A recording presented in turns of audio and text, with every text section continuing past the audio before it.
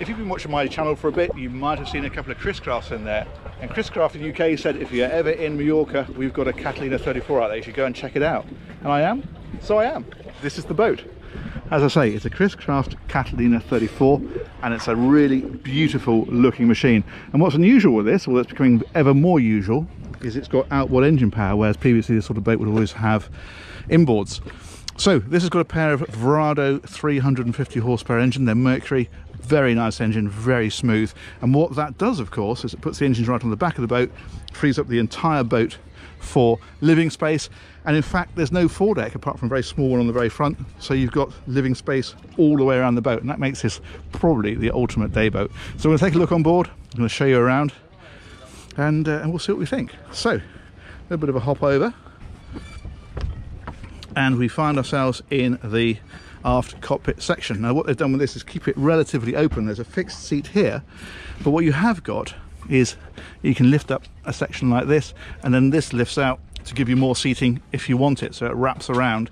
And then in fact on the other side if you have this transom door shut it's got the same kind of thing. So you can make this into a really nice big social area and that is catered for by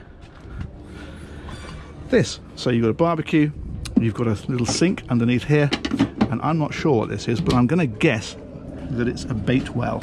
So if you are fishing and want live bait that'll go in there. As I say it's a guess but I'm pretty sure that's what it is. And then underneath that there is a fridge and some storage.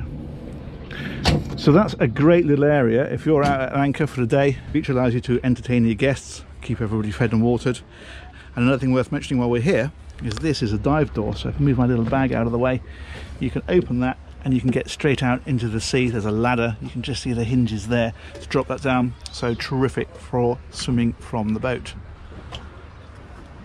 And in fact, it's got this shade over it, so this extends out electrically, so it can roll away right into this hardtop, or it can come right out as it is at the moment, and that is protecting these three lovely helm seats. Now, this is Chris Craft at its best with beautiful diamond quilted seats, this lovely Chris Craft logo, and look at the way they've done this helm. It's beautiful woodwork and it's lovely Catalina 34 badge and then the wheel, the Motor style wheel with the weighted Chris Craft logo so it's always pointing the right way. With the engine instrumentation that's all electronic, you can see it on this screen and then you have chart plotter on the opposite one and then of course here throttles, thruster and trim tabs. Love these switches, they're the illuminated sections so when they're on they light up. And that fella there very important that is a kill cord. So you wrap that around your leg. If ever you were in a situation where you were pulled away from the helm at speed that would cut the engines.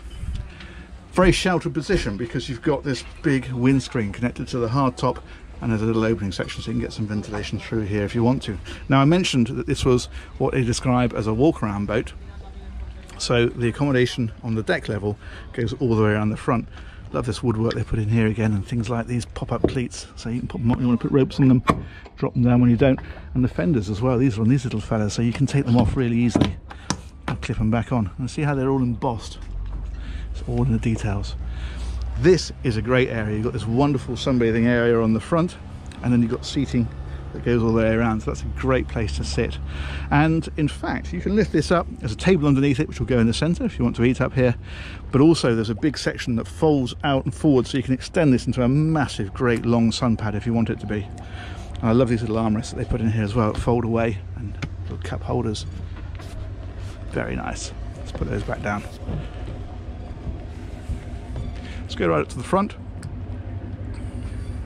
And again is what you get on Chris Craft, this beautiful wood and the logo on here.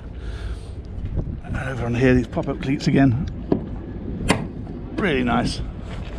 Now that, you might assume, is a brilliant day boat and you'd be dead right, but there is a little bit more to it because if you wander down this side, let's say you're out for the day and you want to use the loo, well this door here has got one, but let's say you're out for a weekend and you want somewhere to sleep or you just want to have a nap in the afternoon, check this out. Look at this. What a great little cabin. Double bed in there. It's got air conditioning. There's no generator on here, so you need to be plugged into shore power for that to work. But if you're in a marina and it's night time, you can cool this cabin. There's a little sink. And that toilet I mentioned, where you lift this up, and that's underneath. So it's a great place if you're out for a day and people need a bit of comfort, uh, a loo basically, that's where they can find it. But as I say, if you did want to spend the night on it, you could. If you just wanted someone to just tuck yourself away for an hour or two, get out of the sun, ideal. And that really stretches the versatility of this boat. I think that's brilliant. And of course, beautifully finished as well, as you expect. Okay, so more Chris Craft logos. Love these seats. These are lift bolsters, by the way, so you can sit on these if you want to, or you can lift that up and you can rest against them when you're driving the boat. And talking of driving the boat, they did say to me, listen, while you're out here, it's a lovely day, fancy run out? And I said, go on then. Not only that, but I have Marianne and her kids with me, so we're all going to take this for a little jaunt and we're going to try it out.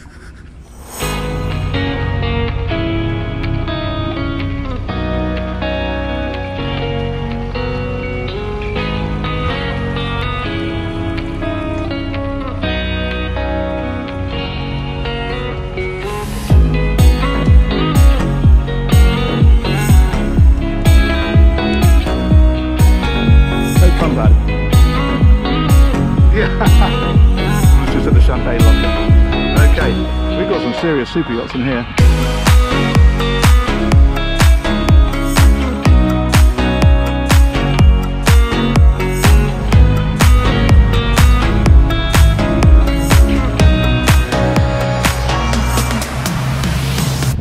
Okay, so I have arrest the helm. Let's go see what this bad boy will do. So first thing to do is this kill cord is absolutely going around the leg. That is rule one, number one. Clip on. Okay, there we go. Right.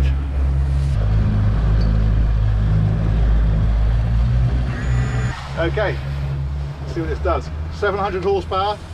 Let's go.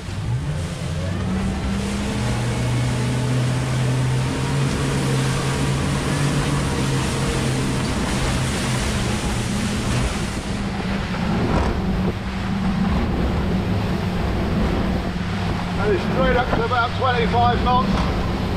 That's a very comfortable cruising speed, but there's loads left. We're going take her out a little bit at that speed, and then we'll give her a run up the coast. Okay, give her into a turn. It is a Chris Craft, you expect it to handle nicely and it does, that's really good. Do a bit more flow. we've got some wonderful coastline along here, look at this.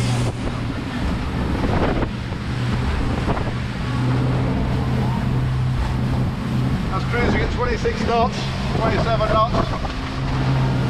Okay, nobody about, we'll give her a pistol, see what she'll do. Here we go. 33 knots, 36, 27, 40, that is 44 knots, I'm going to back her up. That's a fast boat, but what it means is that you can drop the speed right back to 30 knots where we are now, and that's a comfortable cruising speed, very comfortable indeed. And reasonably quiet too. Let's give the handling a try. First turn, are you ready? Okay, here we go.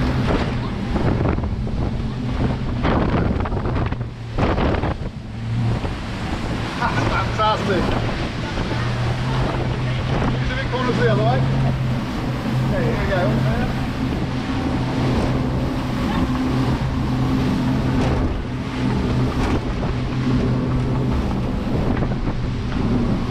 Yeah, that is a fun boat. Well, I think that's us sorted for the rest of the day. Let's go.